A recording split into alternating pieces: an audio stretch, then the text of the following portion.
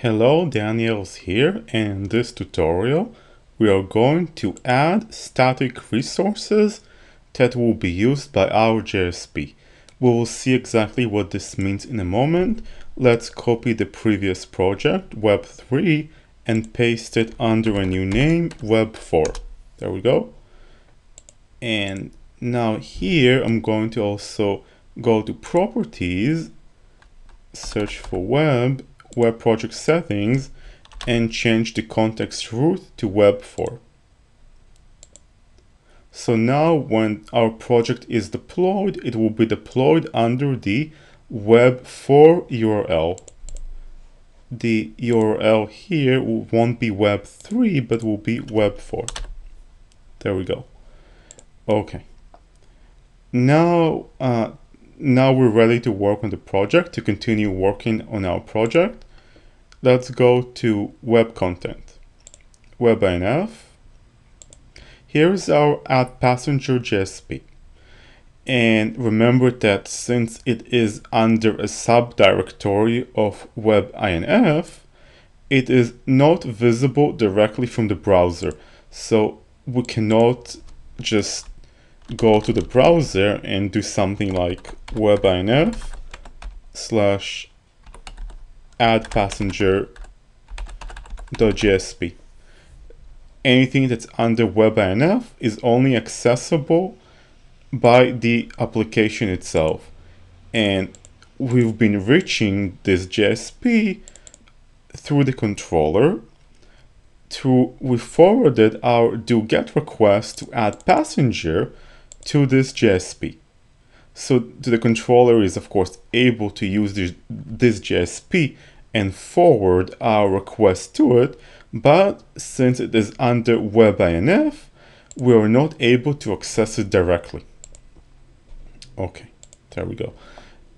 But with static resources, we cannot allow a situation where a browser can, cannot access them directly, we need to make our static resources directly available for our browser to access.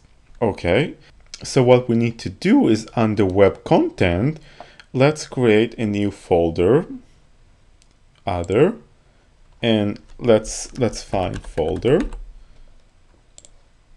and let's call the folder resources. resources okay. Finish. There we go. And I created this right under web content. Inside of it we can go to we can create another folder inside of it and we can call the new folder CSS for CSS files. And now we have these two folders right here and since the resources folder is not under WebINF, the browser is able to access it directly. Okay, and I will not make us write the CSS uh, for the for the add passenger servlet and for the add passenger JSP. There is a lot of HTML here that could use CSS for styling. I'm not going to make us write everything here because it's it has nothing to do with Java. So what, what my plan is that we can just download the CSS that we need for this project. So what we can do is go to the course and find the lecture. This is the number of the lecture is going to be different, but it's going to be called add static resources to our JSP files. Let's open it. Let's go to to the materials you can download it's kind of cut the names, but we need to download the second.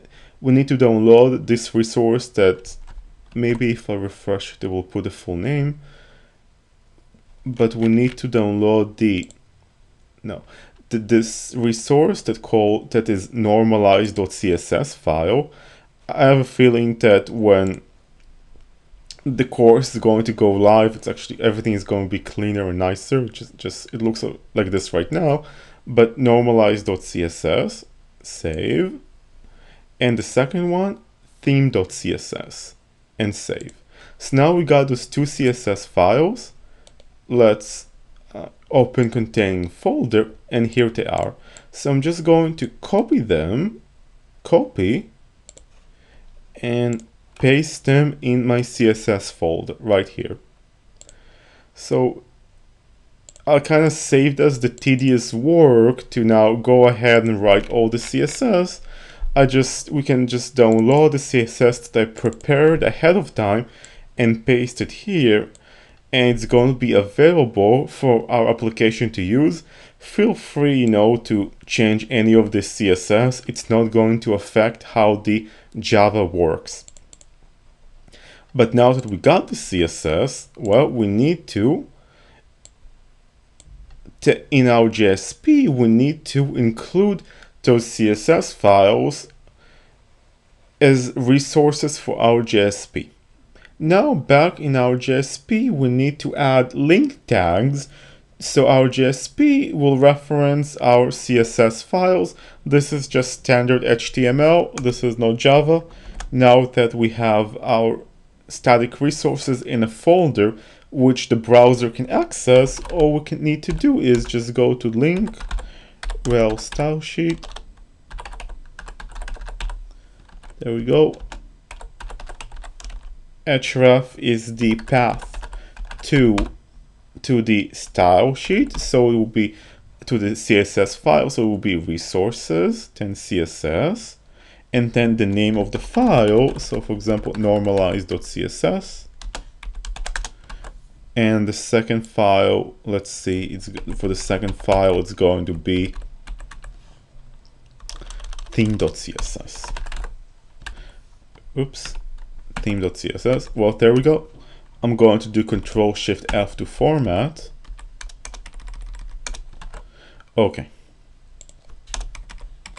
and there we go now our, we can test this JSP page and we can see how hopefully it's going to show up not just as the form, but also as uh, but not just as the form, but also with our styles, also with those CSS styles that we have. So let's right click on Glassfish and click start to start the server. Now that Glassfish has started, let's right click again, click on add remove, and let's add web 4. So now that the server has started and our application has been deployed, let's go to the browser and let's go to this JSP page. Let's go to the servlet that forwards forwards the request to the JSP, the add passenger servlet. And there we go. This is the form that we created. You can add a first name, a last name, a date of birth, and select the gender to add a new passenger, this is some of the CSS styles. You can you're, you're welcome to go to the theme.css file and change the CSS styles. Don't change normalize, but you can definitely change theme.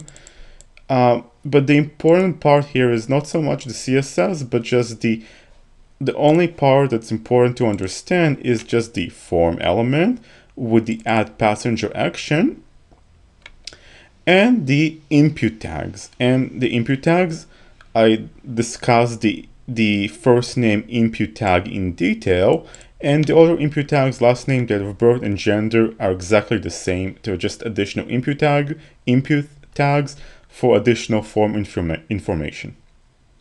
Great, so thank you very much, and uh, we'll continue working on this project in the next tutorial.